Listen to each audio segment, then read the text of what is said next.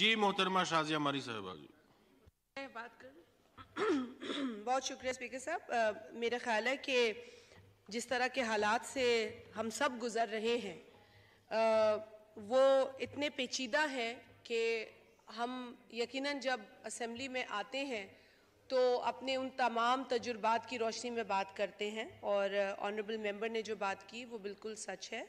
और honourable minister साहब भी यकीनन दिन रात मेहनत कर रहे हैं और फ़ूड सिक्योरिटी के हवाले से उनकी बहुत बड़ी कंसर्न है क्योंकि उन पर बहुत ज़्यादा ज़िम्मेदारी है।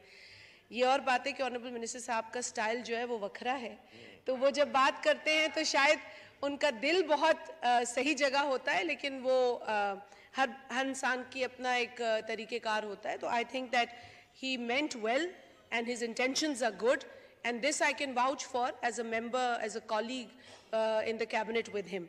Sir जहाँ तक बात की है ऑनरेबल मेंबर ने, इसमें कोई शक नहीं है कि पानी अभी भी इलाकों में खड़ा है और अभी तक हम तबाहकुन बारिशों और तबाहकुन सैलाब को फेस कर रहे हैं और जो आरबीओडी की तरफ़ का इलाका है, बिलखसूस, सर, वहाँ पानी बहुत है आज जो सुबह नौ बजे प्राइम मिनिस्टर साहब ने मीटिंग बुलाई थी फ्लड्स के हवाले से उसमें बाकायदा मैप्स दिखाकर जो है वो पोजीशन करंट सिचुएशन बताई है और कहाँ कहाँ पानी नीचे गया है और कहाँ कहाँ पानी अब भी हमारे लिए बड़ा चैलेंज है।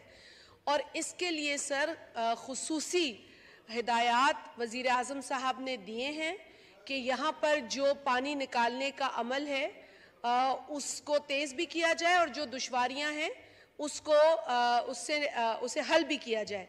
सर एक इशू जो था वो वहाँ बिजली के हवाले से आया था और प्राइम मिनिस्टर साहब ने इंस्ट्रक्शंस दिए हैं।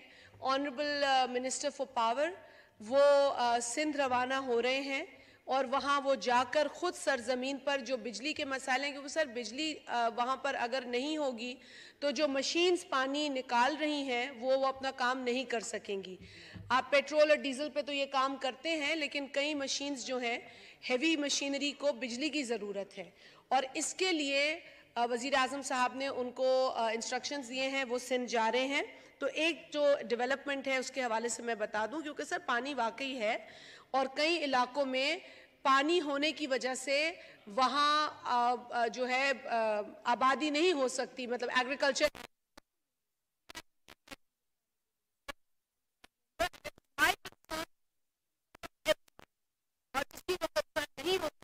पाकिस्तान के हालात का नहीं पता। सर दूसरी बात जो उन्होंने सीट्स की की है और honourable minister is the relevant minister he is stated the position but it is a fact कि फेडरल गवर्नमेंट ने हर सूबे को ये कहा था कि आप 50-50 परसेंट पार्टनरशिप के ऊपर काम करें ताकि हम ज़्यादा लोगों को कवर कर सकें। और इसमें सर अ, सूबा सिंध ने एंड मैं सिंध से हूँ इतफाकन ये भी एक अ, उसमें आ जाती है एडिड इन्फॉर्मेशन क्योंकि आज की मीटिंग में भी सिंध हुकूमत ने जो उनका कमिटेड अमाउंट है और सर, मैं आपको ये बताते हुए मुझे खुशी भी होती है कि ज़िम्मेदारी का मुजाहरा सिंध हुकूमत कर रही है और सिंध सूबा कर रहा है। And the minister is going to agree with me on this कि उन्होंने 50 परसेंट से ज़्यादा इसमें कंट्रीब्यूट किया है और उन्होंने अपना अमाउंट दे दिया है फेडरल गवर्नमेंट को, जिसके नतीजे में ज़्यादा लोग इंशाल्लाह कवर होंगे सिंध के। इसी तरीके से और सूबों को भी।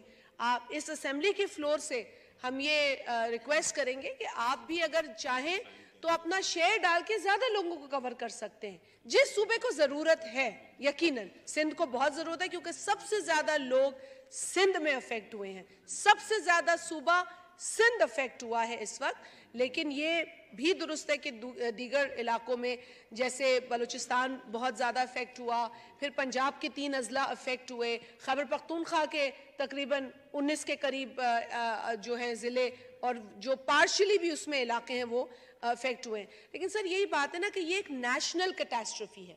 इसमें जितना ज़्यादा सियासी डिफरेंसेस को दूर रखकर पर्सनल लाइक्स और डिसलाइक्स को दूर रखकर काम होगा, उतना ही ज़्यादा हमें जो है वो बेहतर स्ट्रैटेजी और बेहतर तरीके से काम करेंगे। आज वज़ीर आज़म साहब ने यही बातें की हैं और अल्लाह का शुक्र है कि हम सही डायरेक्शन में हैं, लेकिन जो तकलीफ़ है वो यकीनन मौजूद है। I assure the honourable member and I am grateful to the honourable member for raising his concerns on the floor of this house because ये पार्लियामेंट है जहाँ पर हम अपनी आवाज़ उठाते हैं, लोगों की आवाज़ उठाते हैं और हमें अपने इन आवाजों को यहाँ उठाना चाहिए ताकि ना सिर्फ़ ना सिर्फ़ कैबिनेट मेंबर्स ये बात सुन सकें, बल्कि जिन लोगों की वो नुमाइंदगी कर रहे हैं, वो सुने। सांगड़ की आवाम है, हैदराबाद की आवाम है सखर की है जहाँ की भी आवाम देख रही है, पंजाब की आवाम देख रही है बिलखसूस वसेब की, जहाँ पर ये तबाही आई है। सर, वो सब लोग चाहते हैं कि उनकी बात इस हाउस में हो।